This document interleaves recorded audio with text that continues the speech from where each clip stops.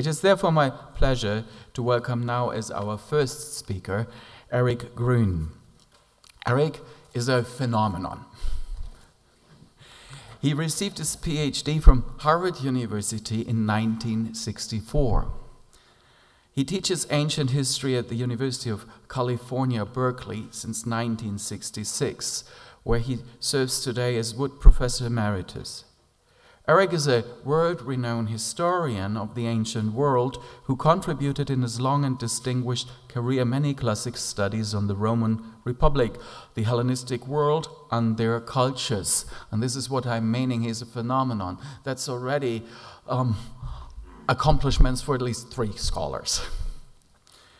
Um, one of these classic studies is the last generation of the Roman Republic. A particular passion of Erich is the study of ancient Judaism, so that's yet another field um, and another lifetime achievement. Um, so, to the study of ancient Judaism, Eric contributed two books Heritage and Hellenism, the reinvention of Jewish tradition, and Diaspora, Jews amidst Greeks and Romans. Reading you his long list of honors, awards, fellowships, and visiting professorships would probably steal away most of the time for Erich's talk. Um, so, without further ado, I would like to give the floor to Erich, who will speak to you today about modern debates on ancient anti Semitism. Thank you so much, Erich Gruen.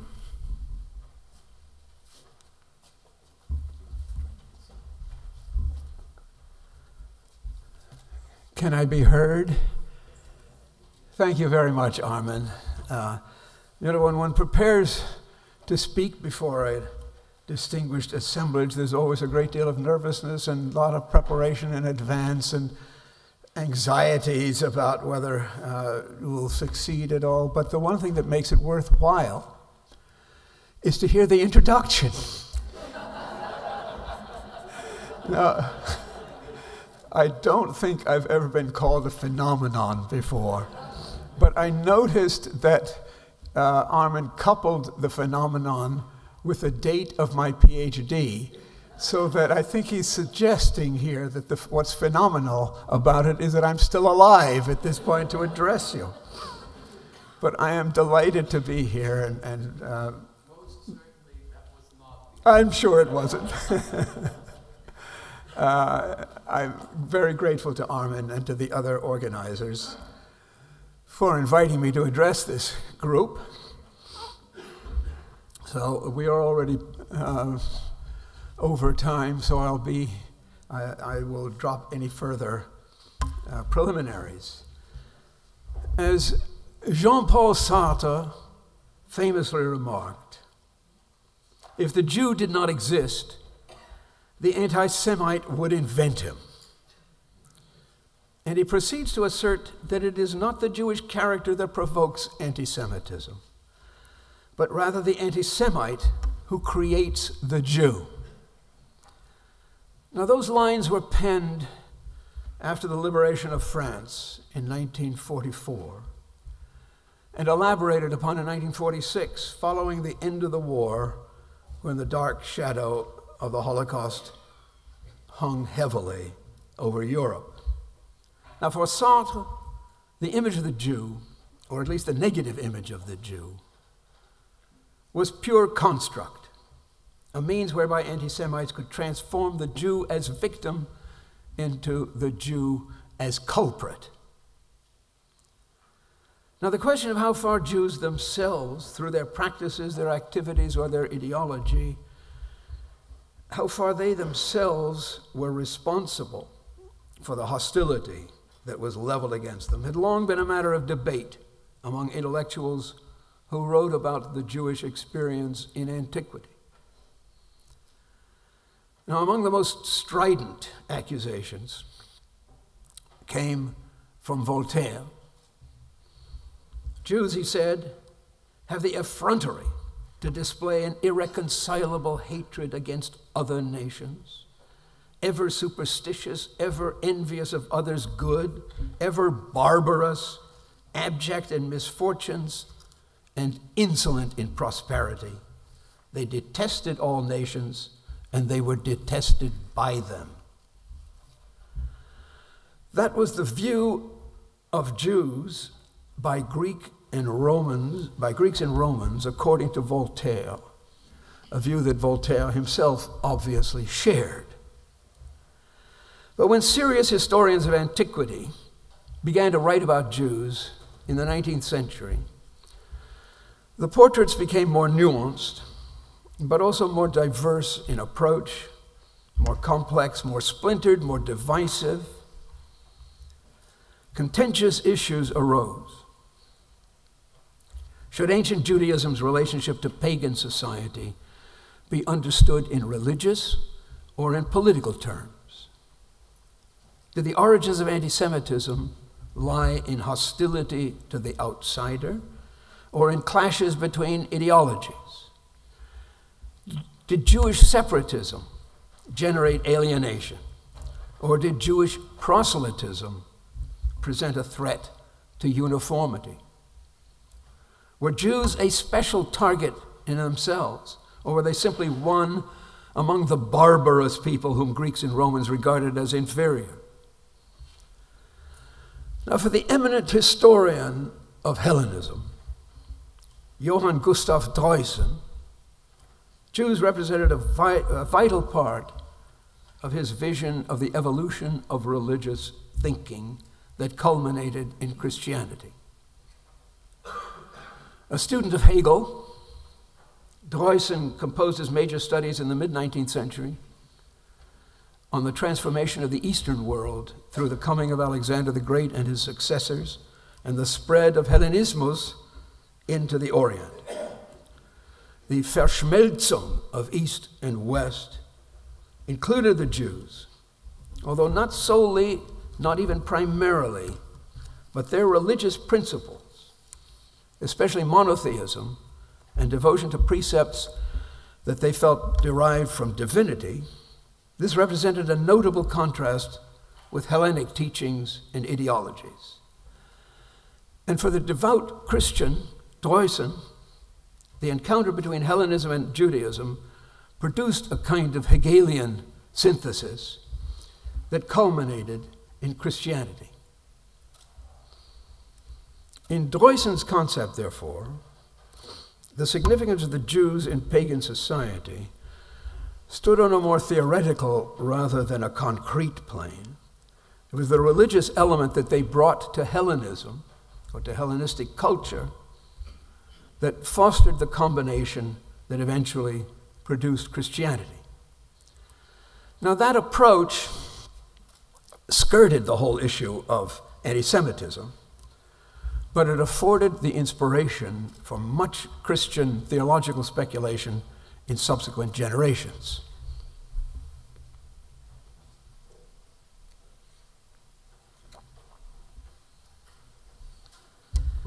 The great perhaps greatest Roman historian, Theodor Mommsen. He approached the matter from a very different direction. He was not concerned with the religious aspect of Judaism or any role that it might have played in the coming of Christianity. The more hard nosed, pragmatic Mommsen focused upon the political aspects and any impact that they might have had upon the functioning of the Roman Empire.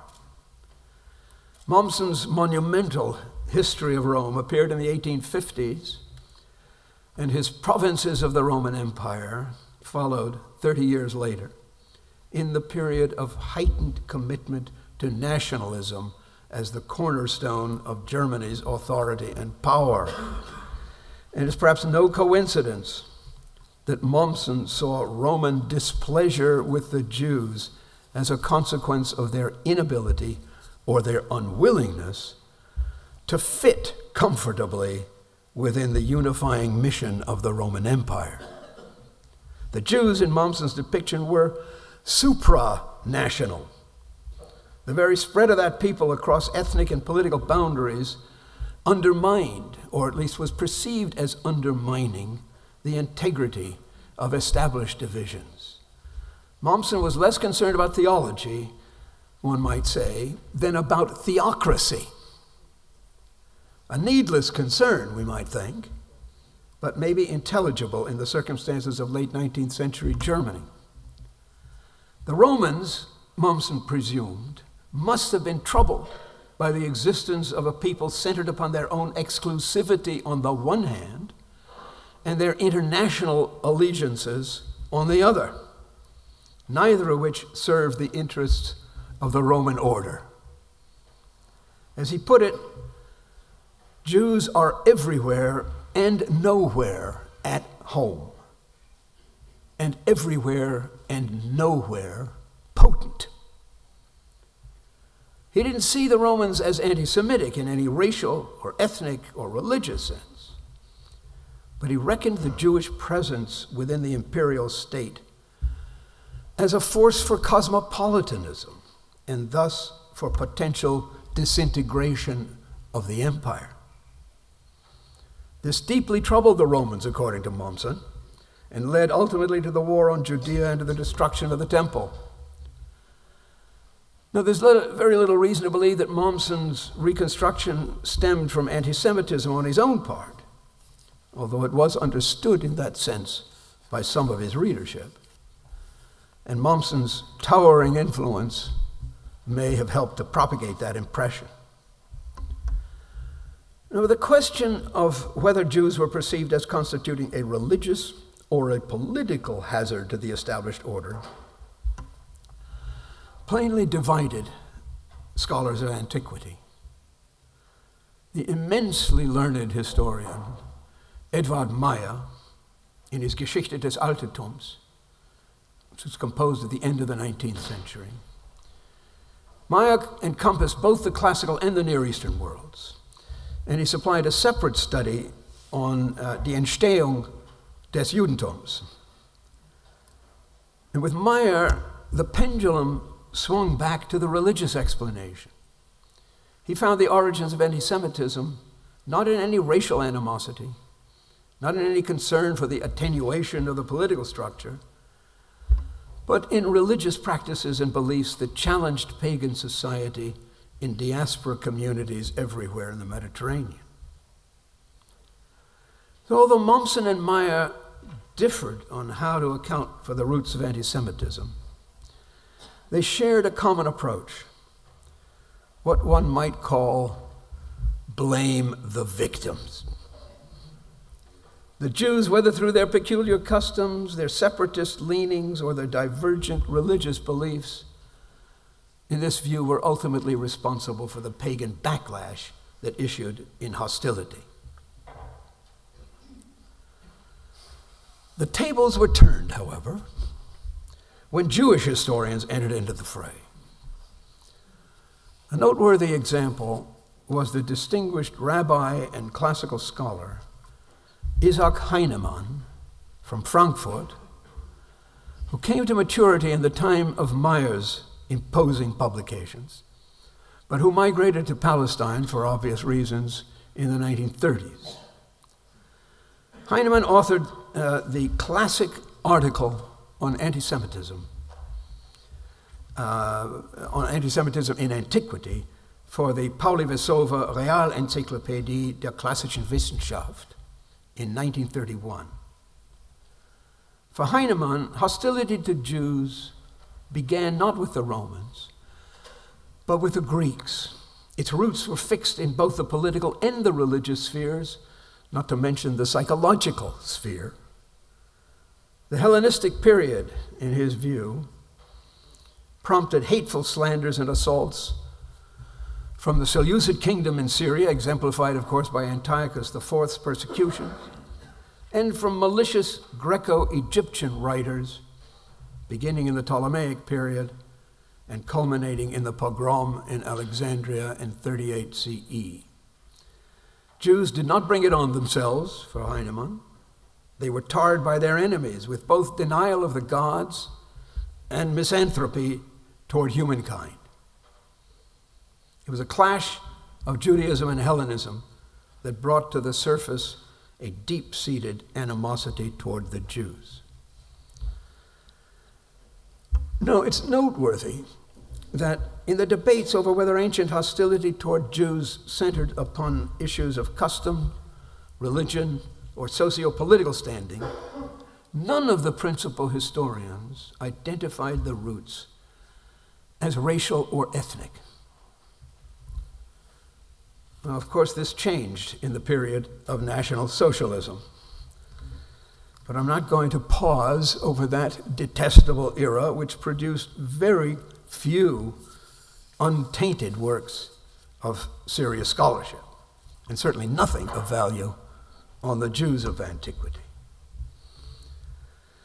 But the aftermath of the Holocaust and World War II produced a notable shift in the direction of scholarship. The question of how far early Christianity may have been responsible for the roots of anti Semitism came to the fore. Debates were now rekindled, and that issue became volatile. In 1948, Marcel Simon of Strasbourg published his widely influential work, Verus Israel, which contended that Christian anti Judaism can be traced primarily to competing proselytisms between the two faiths and the need that early Christians felt to establish their own identity as distinct from their Jewish roots. Now, that line of argument moved to a new level with the work of the American Catholic theologian Rosemary Ruether. Her powerful book, Faith and Fratricide The Theoretical Roots of Anti Semitism, published in 1974, placed the onus of anti Semitism squarely upon the early church. Pagan criticisms of the Jews, in her view, amounted to very little. They were mere irritation with peculiar customs and alien ways of life, but not an assault on the religion or any rejection of the race. That sort of thing came, in Ruether's view, with Christianity. The rift centered upon the Christological doctrines that alienated the Jews and issued both in persecution and in the ferociously hostile treatises of some church fathers. For Ruether, anti Semitism is embedded in Christianity right from the start. Well, it need hardly be said that this perspective stirred considerable dissent and dispute. The idea that Christian anti Semitism prompted centuries of hatred that culminated in the Holocaust didn't sit well with most and generated a variety of responses that branded the Ruether thesis as oversimplified and monolithic. Responses to Ruether, whether direct or indirect, came from both theologians and historians, like Lloyd Gaston, Krister Stendahl, and E.P. Sanders who reinterpreted the writings of the New Testament and early Christianity, stripping them of much of the supposed hostility to Jews and rebutting the charge that anti Semitism grew out of the messianism and Christology of the fledgling church. So the pendulum uh, consequently began to swing back once again. If Christianity, at least in its origins, could be largely absolved of the taint of anti Semitism, it seemed productive then to re examine pagan antiquity for the background of the animosity. The Swedish pastor, J.N. Sevenster, devoted a substantial monograph to that subject in 1975. Sevenster placed emphasis most emphatically upon pagan perceptions of Jewish strangeness, the peculiarity of Jewish customs, the dietary laws, keeping the Sabbath, circumcision, the rejection of image worship, all this struck the Gentiles as quite alien, both contemptuous and contemptible. And above all, the Jews' penchant for amixia, their reluctance to mingle with non Jews, their tendency to misanthropy, drew pagan scorn and pagan antipathy in Sevenster's view. Now, this took the Christians off the hook. But the thrust of Sevenster's thesis, even if unintentional, did present a case for blaming the victim. Jewish separateness, separateness and exclusivity, in his view, are themselves responsible for the negative image of the people in the eyes of their antagonists. now, the fine book by John Gager, The Origins of Anti Semitism, published in 1985, conducts a valuable survey of opinions toward Jews by pagans, ancient Christians, and modern scholars. Gager takes an admirably even handed approach, finding complex and divided attitudes towards Jews by Greek and Roman authors and authorities, and seeing a preponderance of sympathy rather than antipathy. And similarly, similar complexities existed for Gager with the early Christians. Among other things, he draws a distinction between popular Christianity and its intellectual leadership, and shifting approaches between the Pauline letters and the church fathers. For Gager, internal debates were more prominent than either pagan or Christian disputes with Judaism. And there was no consistently negative understandings of the people or its religion, and no thread that could lead to modern anti Semitism. So now both pagans and Christians were off the hook.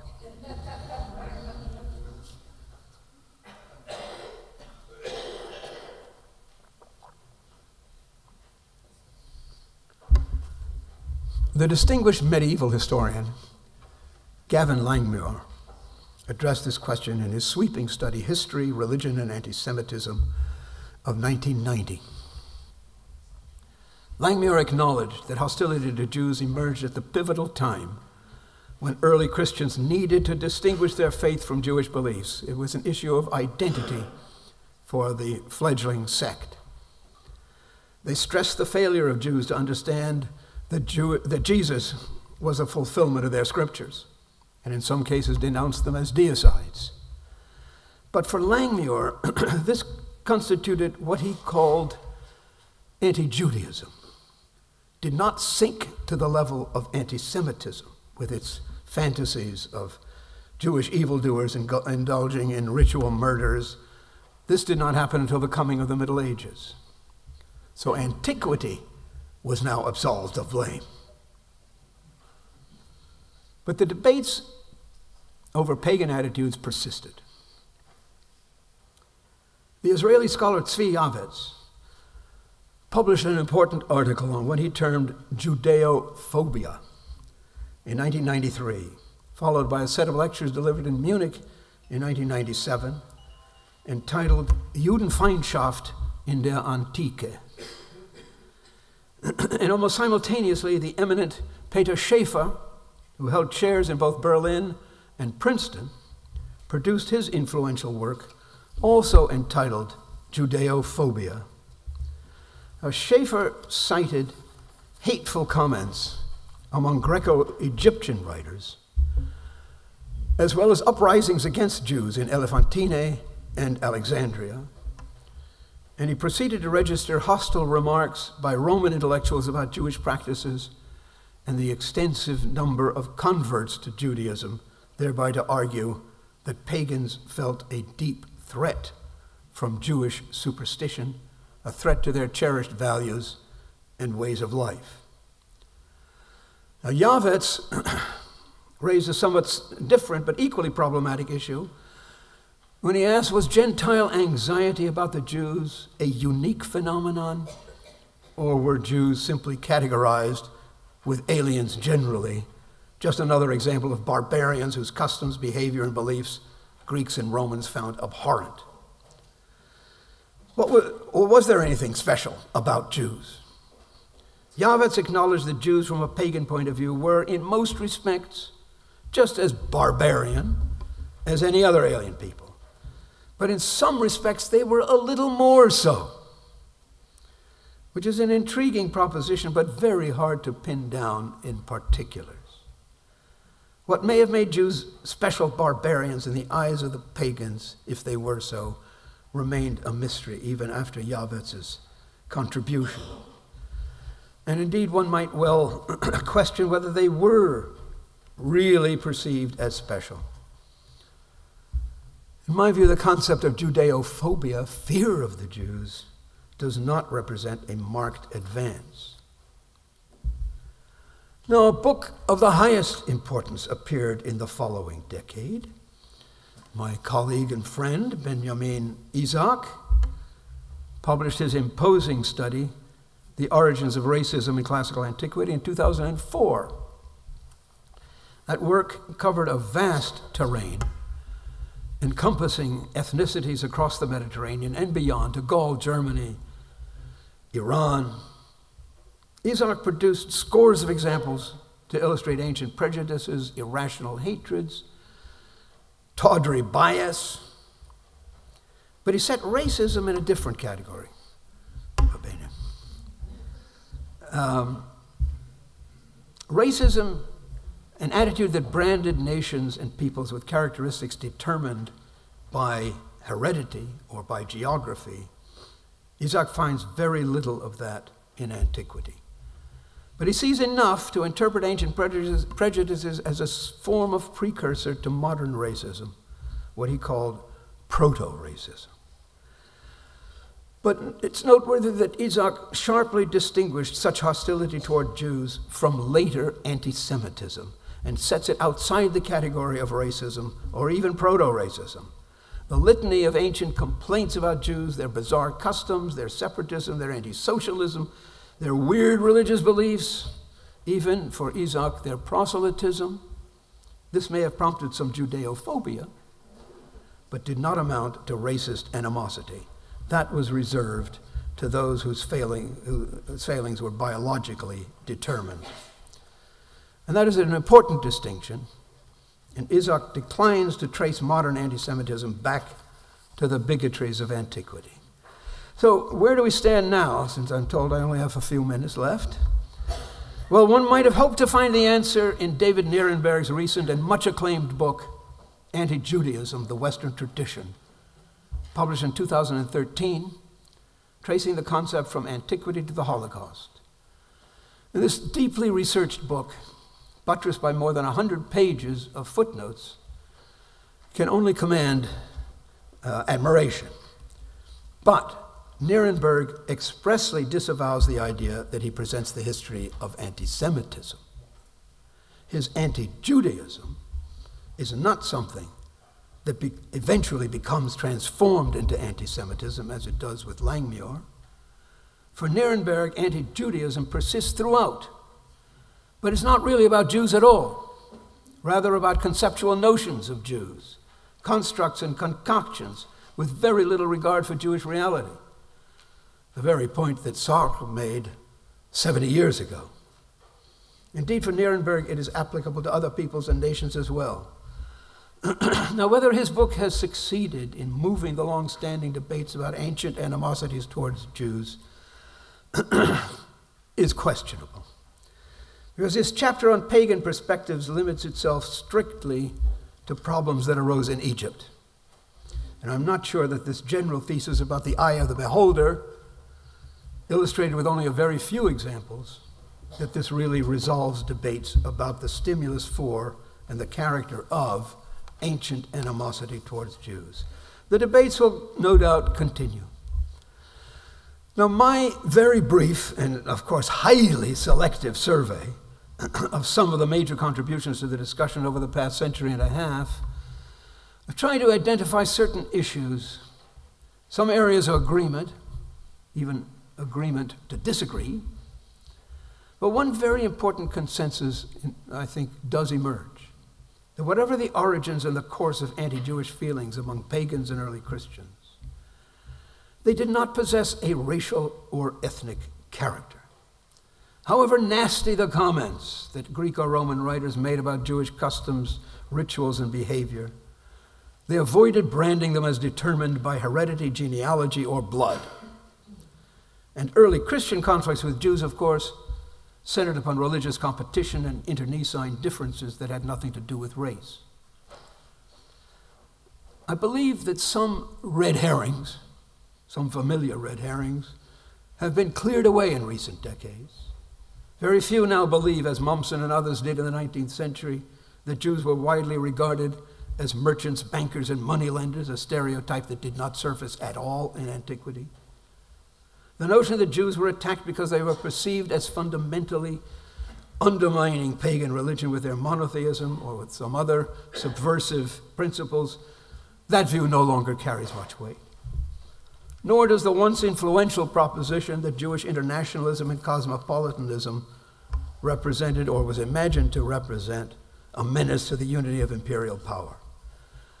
The notion of Judeophobia among pagan critics has received some traction in recent years, as I mentioned, but that there was any significant fear of Jewish growth in numbers or of vigorous missionary efforts, this is alluded to in only a very few sources, scattered comments, and it's hard to take seriously as a basic uh, source of anxiety or animosity among the pagans.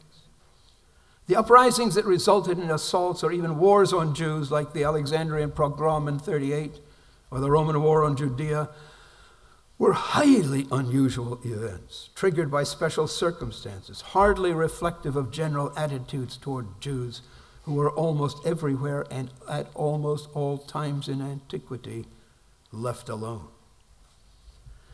But insofar as there was hostility, did the Jews bring it on themselves? An idea that raised by Voltaire and could readily be inferred from the otherwise very different works of Mommsen and Meyer. Jewish exclusiveness interpreted as xenophobia and misanthropy, and Jewish monotheism as a challenge to the established uh, religious consciousness, these were seen as generating pagan backlash. But the idea that Jewish behavior, particularly their self segregation, was responsible for pagan resentment, that view has had a long life, but it holds very little sway now. Even those modern scholars who acknowledge the Jewish exclusiveness and the peculiarity of Jewish practices may have prompted some scorn and derision by pagan authors, they do not see them as, precipitate, as a precipitating cause of hostility. In short, there's a broad accord that exists on various matters that previously brought only discord. Resistance to the idea that anti Semitism, in anything like the form it took in the medieval and modern periods, resistance to that idea in antiquity now seems uniform. The substitution of the term anti Judaism is not much help, for that, that uh, seems to imply revulsion for the religion or the ideology of the Jews for which there is very little evidence among the pagans and scant support among the early Christians.